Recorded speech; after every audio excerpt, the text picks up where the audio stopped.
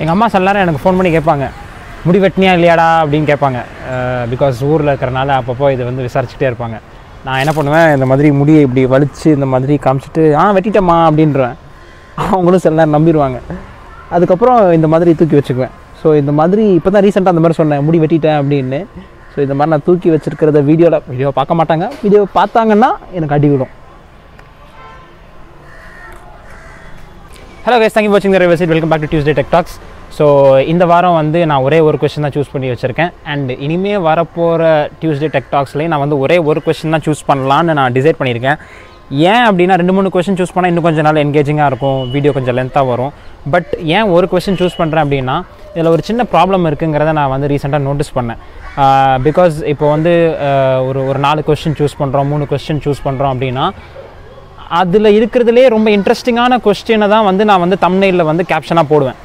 So so இப்போ புதுசாக video பார்க்குறவங்க என்ன நினைக்கிறாங்கன்னா அந்த தம்னையில் இருக்கிற அந்த விஷயத்தை பற்றி மட்டும்தான் அந்த வீடியோவில் அவன் பேசியிருக்கான் அப்படின்னு நினச்சிட்டு அதை சில பேர் பார்க்காம போயிடுறாங்க. இல்லை அந்த- அந்த அந்த டாபிக் வந்து அவங்களுக்கு வந்து இன்ட்ரெஸ்டிங்காக இல்லாதனால அதை வந்து நெக்லெக்ட் பண்ணிடுறாங்க.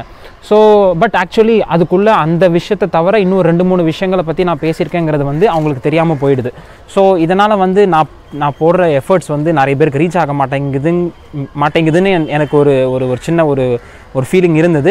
ஸோ அதனால் ஒரே ஒரு டாபிக் எடுப்போம். அந்த டாப்பிக்கை மட்டும் தம்னையில் போட்டுடலாம் அப்படின்னு நான் டிசைட் பண்ணியிருக்கேன். நோ ப்ராப்ளம் இப்போ நான் ரெண்டு மூணு கொஷின்ஸை வந்து ஒரே வீடியோவில் பண்ணுறதுக்கு பதிலாக ரெண்டு மூணு அந்த அந்த ரெண்டு மூணு கொஷின்ஸை வந்து நான் டிஃப்ரெண்ட் டிஃப்ரெண்ட்டான வீடியோஸில் பண்ணிடுறேன். அதனால் ஒன்றும் பிரச்சனை இல்லை. ஸோ எஸ் டைம் வேஸ்ட் பண்ணாமல் இன்றைக்குள்ள கொஸ்டின் போயிடலாம். இந்த கொஷின் வந்து ரொம்ப நாளாக இந்த பையன் என்கிட்ட வந்து கேட்டுக்கிட்டே இருந்தார். நிறைய வீடியோஸில் வந்து இந்த கொஷின் வந்து ரிப்பீட் ஆகிட்டு இருந்ததை நான் பார்த்தேன். சரி ஆன்சர் பண்ணிவிடுவோம் அப்படின்னு சூஸ் பண்ணியிருக்கேன்.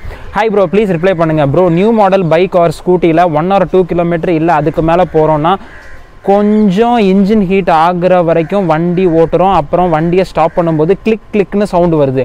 இன்ஜின் நார்மல் டெம்பரேச்சர் வர்ற வரைக்கும் அதனால் சவுண்டு வருது. இந்த கொஷின் நான் யார்கிட்ட கேட்டாலும் ஆன்சர் சாட்டிஸ்ஃபைங்காக இல்லை ப்ரோ அப்படின்னு கேட்டிருக்காங்க. ஓகே இது வந்து நிறைய பேர் நோட்டீஸ் பண்ணியிருப்பீங்க ஸ்பீடாக வண்டியை ஓட்டுறோம் பைக்கை ஃபாஸ்ட்டாக ஓட்டுறோம் ரொம்ப நேரம் ஓட்டுறோம். அதுக்கப்புறம் திடீர்னு சடனாக ஸ்டாப் பண்ணிவிட்டு நீங்கள் நோட்டீஸ் பண்ணிங்கன்னா கிளிக் கிளிக் கிளிக்னு இந்த எக்ஸாஸ்ட் பைப் கிட்டேருந்து டிக் டிக் டிக் டிக்னு ஒரு சவுண்டு ஒன்று வரும். அது வந்து இந்த ஸ்ப்ளெண்டர் அந்த மாதிரி பைக்ஸ்லேருந்தே வந்து நிறைய ஸ்கூட்டி அந்த மாதிரி பைக்ஸ்லலாம் நீங்கள் வந்து நோட்டீஸ் பண்ணியிருப்பீங்க இதுக்கு என்ன காரணம் அப்படின்னு கேட்டிருக்காங்க. இது வந்து இவங்க கொஷின் கேட்டதுலேயே ரொம்ப டெஸ்பரேட்டாக இருக்காங்க அப்படிங்கிறது தெரியுது. ஸோ இதுக்கு என்ன காரணம் அப்படின்னா இது வந்து ஒரு சின்ன ஃபிசிக்ஸ் தான் வேறு ஒன்றும் இல்லை. இப்போ நம்ம எக்ஸாஸ்ட் பைப்பு பார்த்தீங்கன்னா பைக்கில் இருக்க எக்ஸாஸ்ட் பைப் வந்து நம்ம பா பார்க்குறதுக்கு வெளியே ஒரு பைப் மாதிரி தான் இருக்கும். பட் அதுக்குள்ளே வந்து ரெண்டு மூணு லேயர்ஸ் இருக்கும். இந்த ரெண்டு மூணு லேயர்ஸில் வந்து என்னெல்லாம் இருக்கும்னா ஃபில்டர் இருக்கும். பிகாஸ் எக்ஸாஸ்ட் பைப்பில் வந்து அந்த நிறைய அந்த நச்சு பொருட்கள்லாம் இருக்கு இல்லையா? கருப்பு அந்த சூட் பார்ட்டிகல்ஸ்லாம் இருக்கும். ஸோ அதெல்லாம் ஃபில்டர் பண்ணுறதுக்கு ஒரு ஃபில்டர் ஒன்று இருக்கும். அப்புறம் மஃப்ளர் இருக்கும். ஸோ எக்ஸாஸ்ட் பைப் ஒரு லேயரு அதுக்கப்புறம் ஃபில்டர் ஒரு லேயர் அதுக்கப்புறம் மஃப்ளர் ஒரு லேயரு இந்த மாதிரி ரெண்டு மூணு லேயர்ஸ் வந்து உள்ள அந்த பைப்புக்குள்ளேயே இருக்கும். ஸோ இந்த இந்த ரெண்டு மூணு லேயர்ஸை வந்து என்ன பண்ணுவாங்கன்னா மொத்தமாக வந்து ஒன்றா சேர்த்து போல்ட் பண்ணியிருப்பாங்க. அதாவது ஒன்றா சேர்த்து பிடிச்சி வச்சிருக்கணுங்கிறதுக்காக இங்கே ஒரு போல்ட் இங்கே ஒரு போல்ட் சேர்த்து வச்சு பிடிச்சிருப்பாங்க. ஸோ இந்த மாதிரி ஒரு பைப்புக்குள்ளே நிறைய லேயர்ஸ் இருக்குது அது எல்லாமே வந்து மொத்தமாக ஒரே ஒரு போல்ட்னாலேயோ இல்லை ரெண்டு மூணு போல்ட்னாலேயோ வந்து சேர்த்து கிளாம்ப் பண்ணியிருக்காங்க. இப்போ நம்ம பைக்கை ஃபாஸ்ட்டாக ஓட்டுறோம்.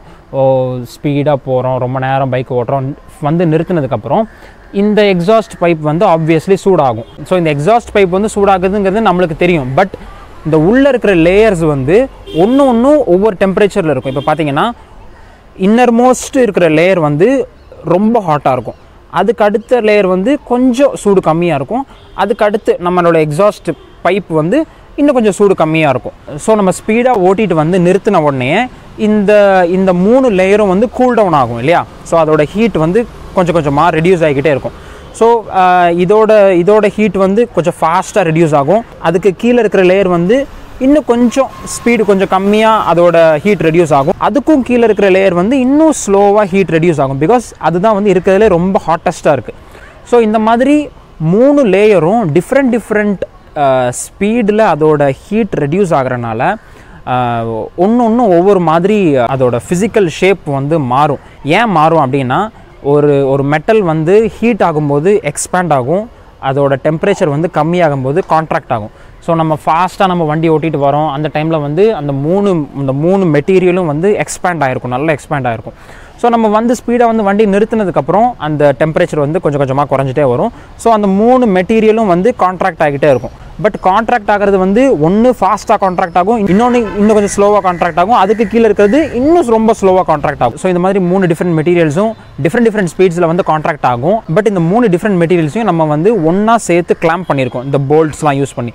ஸோ என்ன ஆகும்னா ஒன்றொன்றும் ஒவ்வொரு மாதிரி கான்ட்ராக்ட் ஆகிறதுக்கு ட்ரை பண்ணிகிட்டு இருக்கோம். பட் அதெல்லாம் வந்து அசைய விடாமல் நம்ம வந்து இந்த போல்ட் வச்சு கிளாம் பண்ணியிருக்கிறனால அதோட கான்ட்ராக்ஷன் வந்து கொஞ்சம் ஃப்ரீயாக இருக்காது. ஒரு மாதிரி ரெஸ்ட்ரிக்டடாக இருக்கும். ஸோ இந்த டிக் டிக்குங்கிற சவுண்டு வந்து அந்த மூணு மெட்டீரியல்ஸும் கான்ட்ராக்ட் ஆகுறனால தான் வருது. கான்ட்ராக்ட் ஆகுறனாலங்கிறத விட அதை வந்து பிடிச்சி வச்சு கான்ட்ராக்ட் பண்ணுறோம் இல்லையா? பிகாஸ் மூணுத்தையும் தனித்தனியாக வச்சு கான்ட்ராக்ட் ஆக விட்டால் அந்த சவுண்டு வராது. பட் மூணுத்தையும் அடுக்கடுக்காக வச்சு அதை சேர்த்து நம்ம பிடிச்சி வச்சு கான்ட்ராக்ட் பண்ணுறனால அந்த ஒரு ரெஸ்ட்ரிக்ஷன் இருக்கும். அந்த ரெஸ்ட்ரிக்ஷன்னால தான் இந்த டிக் டிக் டிக்குங்கிற அந்த மெட்டல் சவுண்டு வந்து நம்மளுக்கு கேட்குது இது இந்த மூணு மெட்டீரியலும் இந்த மூணு காம்பனன்ட்ஸும் ஃபுல்லாக கான்ட்ராக்ட் ஆகி முடித்து அதோட டெம்பரேச்சர் ஃபுல்லாக டவுன் ஆனதுக்கப்புறம் இந்த கான்ட்ராக்ஷன் சவுண்ட் இந்த டிக் டிக் டிக் சவுண்டு வந்து உங்களுக்கு கேட்காது. பிகாஸ் அதோட டெம்பரேச்சர் ஃபுல்லாக கூல் டவுன் ஆனதுனால அந்த சவுண்டு வந்து கொஞ்ச நேரத்துக்கு அப்புறம் கேட்காது.